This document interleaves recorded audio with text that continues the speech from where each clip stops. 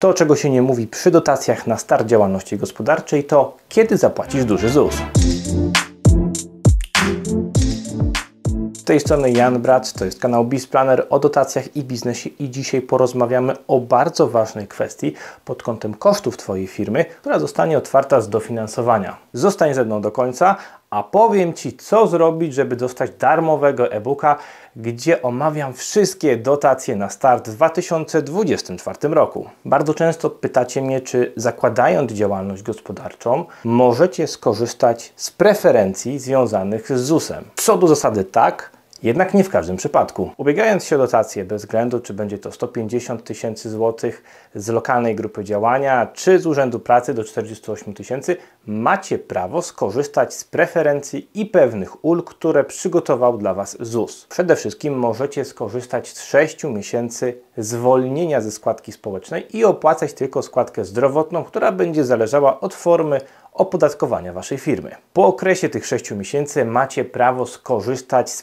preferencyjnego ZUS-u, czyli opłacania składki społecznej w niższej kwocie w okolicach 408 zł, około 408 zł. Okres preferencyjnego ZUS-u społecznego to kolejne 24 miesiące, więc sumując dwa okresy mamy prawo do skorzystania łącznie z ulg przez 30 miesięcy. To odpowiedni czas, żeby spokojnie rozwinąć pomysł na działalność gospodarczą i wbicie na wyższe poziomy przychodów. Natomiast nie każdy albo nie w każdym przypadku będziemy mogli skorzystać z wcześniej wspomnianych przeze mnie ulg. Jeżeli ubiegacie się o dofinansowanie na kolejny Wasz pomysł biznesowy i od zamknięcia poprzedniej firmy nie minęło 5 lat, to co do zasady nie możecie skorzystać z preferencyjnego ZUS-u, tylko automatycznie wchodzicie na dużą stawkę. Ten przypadek raczej jest znany większości z Was, natomiast dwa kolejne już nie do końca. Drugi przypadek, gdzie nie możecie skorzystać z preferencyjnego ZUS-u,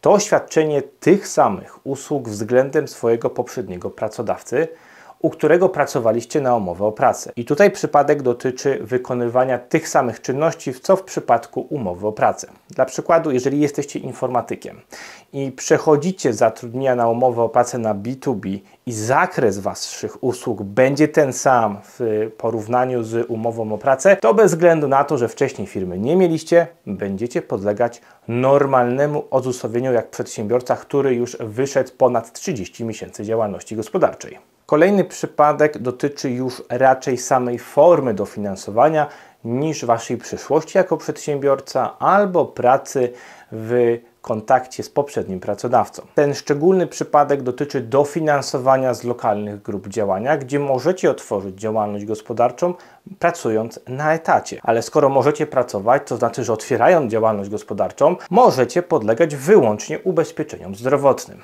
Co do zasady, tak, ale. No właśnie, w tym dofinansowaniu głównym wskaźnikiem, który musicie zrealizować, to stworzenie miejsca pracy w tym przypadku dla siebie. Interpretowane jest jako podleganie pod ubezpieczenia zarówno zdrowotne, jak i społeczne. Co się z tym wiąże? Przed ostatnią wypłatą transzy musicie złożyć wniosek o rozliczenie dofinansowania, gdzie między innymi przedstawiacie dokumenty ZUS-u, że podlegacie pod ubezpieczenia społeczne. I w przypadku, kiedy pracujecie na etacie, jest to dobrowolne zgłoszenie się do ubezpieczeń społecznych, ponieważ Wasz pracodawca i tak te składki za Was odprowadza. Jak widzisz, świat dotacji jest bardzo złożony i zależy także od całego uwarunkowania prawnego. Jeżeli masz problem ze znalezieniem odpowiedniego dofinansowania dla siebie, swojej działalności czy lokalizacji, w której chcecie założyć firmę, możesz zgłosić się do mnie. Na co dzień zajmuję się spełnianiem marzeń moich klientów o własnych działalnościach gospodarczych